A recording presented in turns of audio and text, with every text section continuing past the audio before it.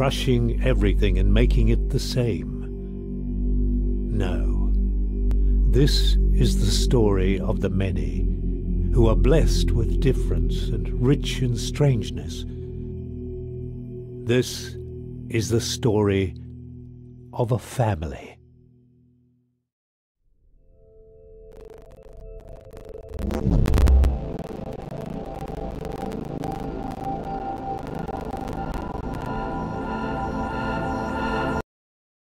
Once upon a time, in the age of the eternal cylinder, there lived a family of little creatures called the Trebhum. Trebhum are not the strongest, nor the fastest, and they do not have sharp teeth.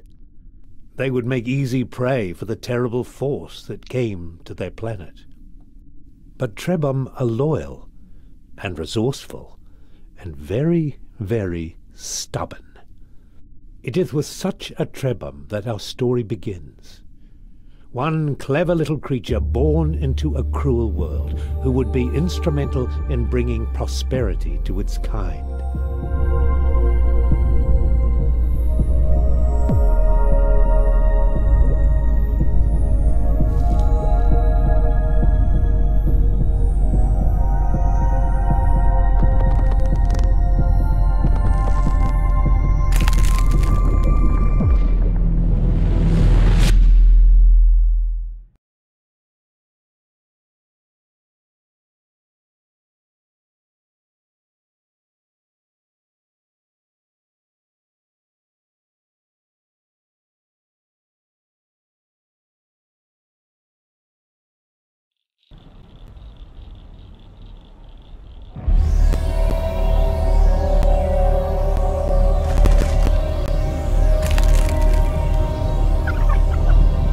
Run, something inside him said. Run.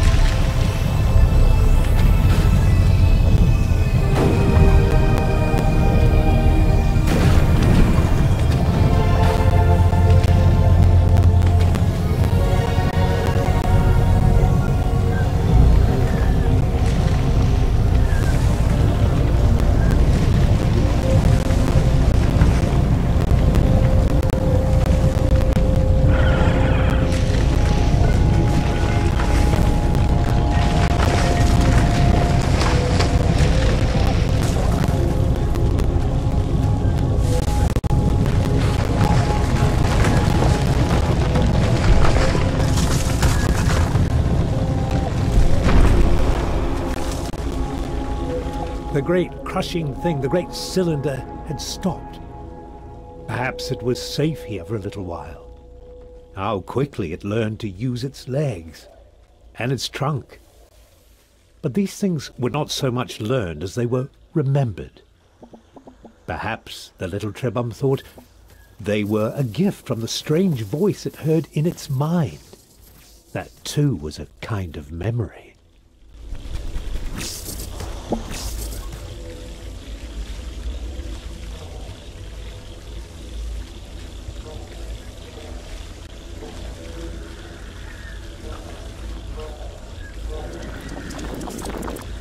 Just when it was starting to get used to its legs, the food from the jumping creature gave it new ones.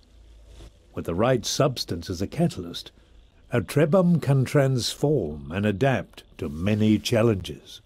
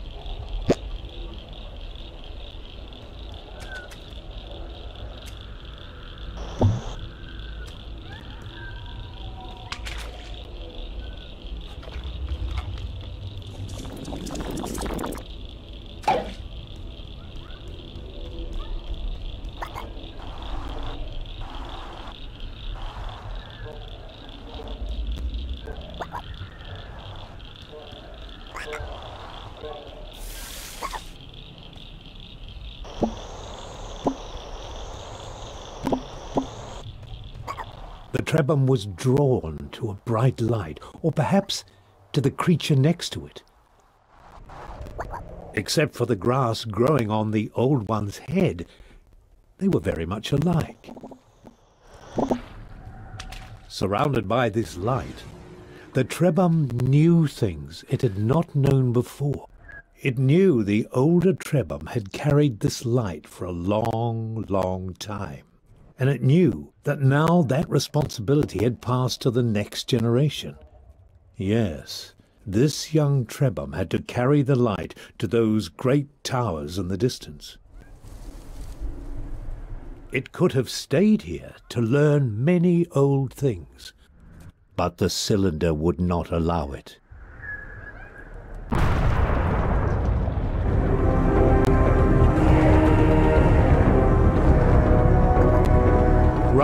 The inner voice said, run.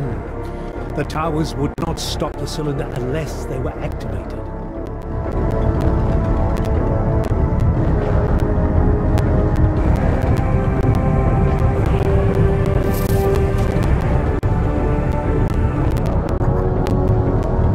Quickly, the Trebhum had to step on the symbol or the cylinder would not be stopped.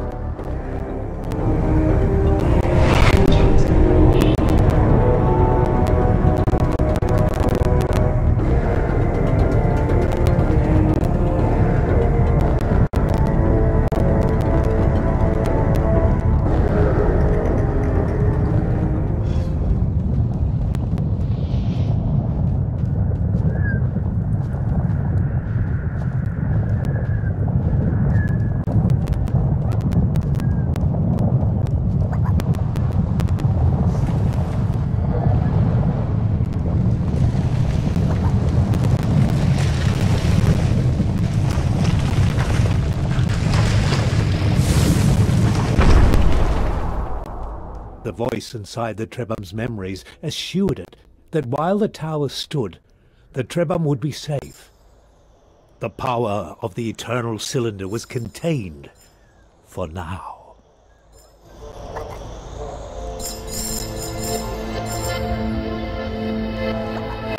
Finding another Trebhum was a cause for joy, but this new friend was not well. Deep inside the memories it had inherited, the Trebhum found the answer. To recover, its friend needed a very specific substance which appeared as glittering clusters of crystal dust. This dust was not natural.